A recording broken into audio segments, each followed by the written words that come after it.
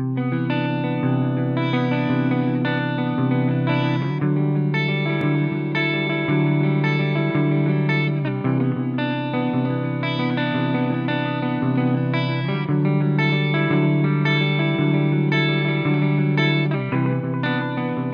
consider them as a growing art form. Yes. I consider these um, toys and at the same time sculptures. These kinds of toys are considered uh, as uh, sculpture. It's an alternative way for artists to show uh, their their works. So they're actually uh, the 21st century version of sculptures. This is basically art.